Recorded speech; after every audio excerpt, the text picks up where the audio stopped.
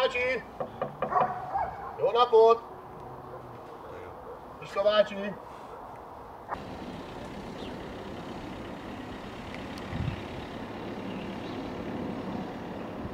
Minden rendben van? Kutyák jó vannak? Megvannak. Semmi baj nincs, az csönd van, nincs mozgás. Hát van, van egy kóbor kutya.